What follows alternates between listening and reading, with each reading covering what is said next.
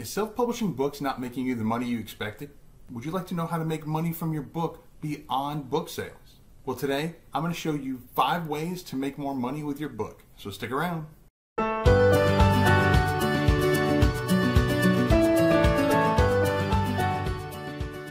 Hey, Write Writers, Keith Wheeler here, and if you want to continue to get all the hints, tips, and tricks on how to make self-publishing easier, then be sure to subscribe to the channel, smash the little bell icon so you get alerted each and every time I put out a new video. You've published a book. Awesome. Congratulations. That's a huge accomplishment and you should be proud. But unfortunately, for most of us, publishing just a book or two isn't going to open up the cash flow that we may have originally thought. But that doesn't mean you should just give up or that your book was a waste of your time. There are other ways that you can make money from your book beyond book sales. Number one, make a companion book. Now, if your book is nonfiction, then this may seem like an obvious leap. Just create a workbook based around your already existing content. What if you write fiction books or children's books? What can you do? Well, for fiction, I've mentioned this in the previous videos, but you can create fan fiction type of journal or workbook. Fans can rewrite scenes, expand on storylines, or even create alternate endings. You can even create a contest and have them submit some of their entries, and winners would get their name listed in your next book. Similarly, for children's books, you can create coloring books based on your current book whether they're the same images just stripped of their color, or it could be completely new images of the characters and different scenes. You too can create a contest and have people submit screenshots of their coloring masterpieces. Number two, create merch.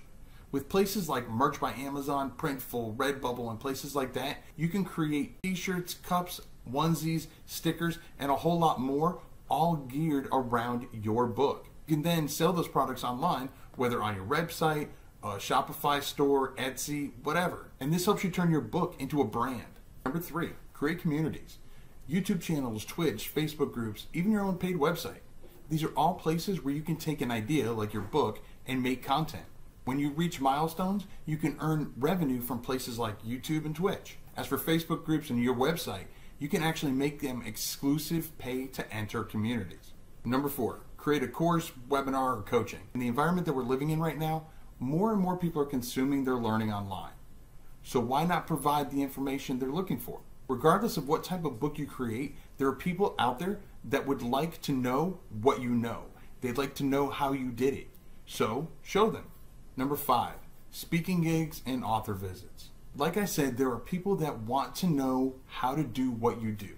Just do a search online for conferences, including online summits that are in your genre and reach out and see if they're looking for speakers. As for author visits, even if you don't write children's books, schools love to get visits from authors, regardless of whether they're elementary school, middle school, and even high school. Now, if you don't want to travel, you can do visits via Skype or Zoom. Now, while some author visits or speaking engagements may not pay you at first, getting the experience will help spread the word which can lead to future paid gigs. Also, you can use videos of you at these author visits and use them on your website as well as on your Author Central page. Bonus tip with tips 3, 4, and 5, in lieu of getting paid, you can request that the customer or organizer orders copies of your book. This will allow you to both still get paid as well as boost your sales ranking and visibility of your book.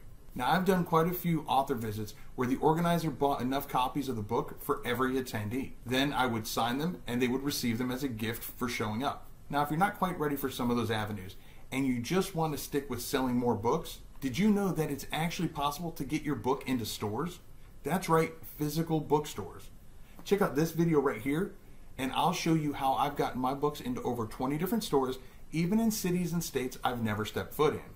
Or you can check out this video that YouTube has lined up just for you. I'll catch you in the next video, and remember to write right.